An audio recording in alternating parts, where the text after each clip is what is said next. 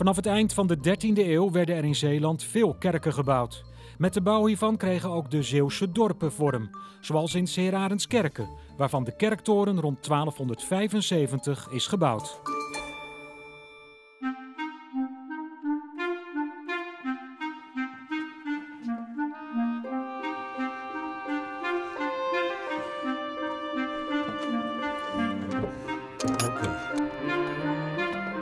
Nou, hier staan we dan op de kerktoren Seraanskerken. 45 meter hoog. Met een schitterend uitzicht zoals je ziet. Als je hier naar beneden kijkt, zie je nog de duidelijke vorm van een kerkring. Zoals het is gebouwd. En duidelijk, kerk werd op het hoogste punt gebouwd van de Kreekruggen.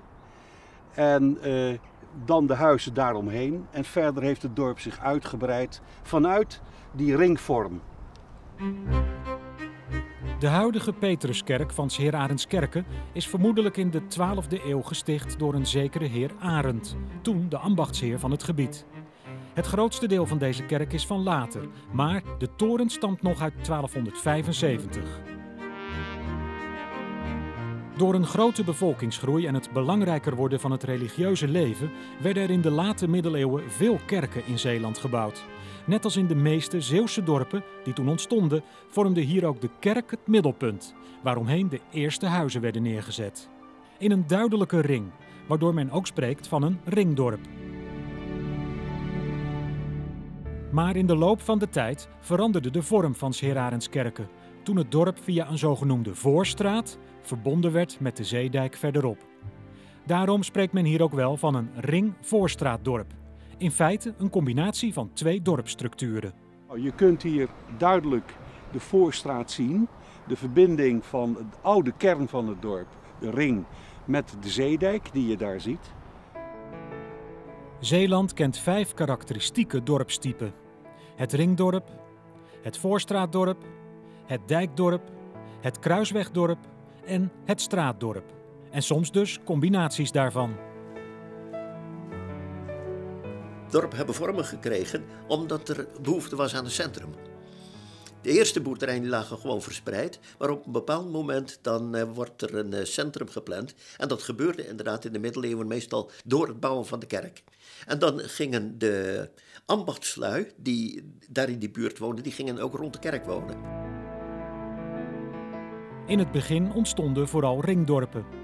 Drijschor op Schouwen-Duiveland is hier het schoolvoorbeeld van. Na 1500 kwamen de voorstraatdorpen op, met een brede hoofdstraat van de kerk naar de zeedijk of de haven, zoals in Sint-Anneland of hier in Kolijnsplaat. In de dijkdorpen, zoals Herenhoek, werden de huizen langs de binnendijk gebouwd.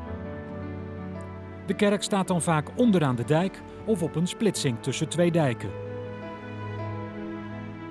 Kruiswegdorpen ontstonden vooral vanaf de 17e eeuw in de Nieuwe Polders.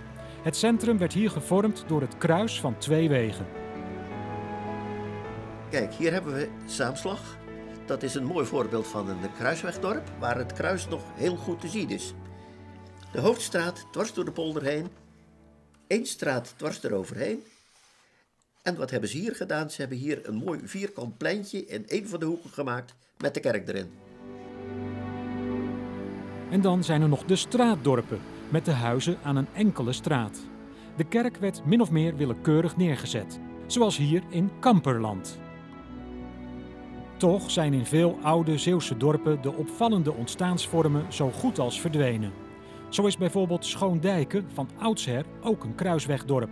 Maar hier is het oude kruispunt tegenwoordig vervangen door een rotonde.